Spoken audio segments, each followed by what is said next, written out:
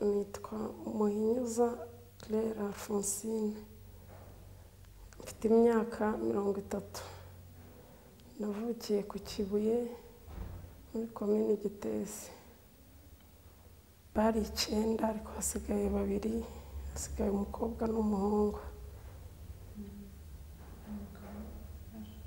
Umugabo twashakanye yitwaga mutazana leonari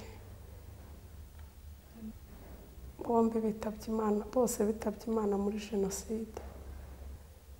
Ubwo jenoside itangiye twarahungiye mu muhima ni bwo jenoside yatangiye we yaragiye gukora ikibungo. Aba iyo ngiyo jenoside itangira tutari kumwe turindira ko azaza turaheba. Ubwo intambara yakomeye yatangiye mu matariki cumi n'imwe batangira kwica abantu duturanye kuko mu muhima batangiye kwica abantu kuri cumi n'imwe.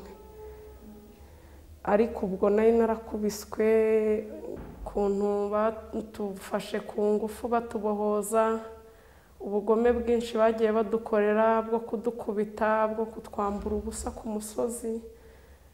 Ibintu bibi byinshi badukoreye. Ngeweho bankoreye n'ikindi gitangaza babonaga umuntu wabo wakomeretse kandi wenda akomerekejwe n'igisasu ubundi kubohozwa bazaga ari icumi cumi na batanu ntiwamenyaga bakugiyeho.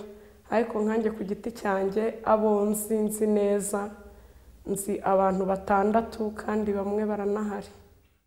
Muri uko kubohozwa ikibazo twagize cyane ni icy'uburwayi. Uburwayi twafashe nyuma y'intambara butangira kugaragara ko umuntu arwaye.